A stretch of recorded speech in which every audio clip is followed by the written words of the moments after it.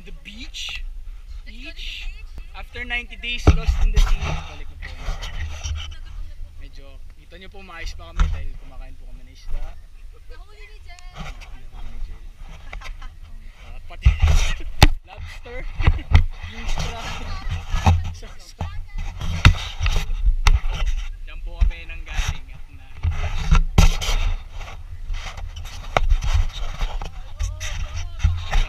Isa po sa amin medyo yung isa po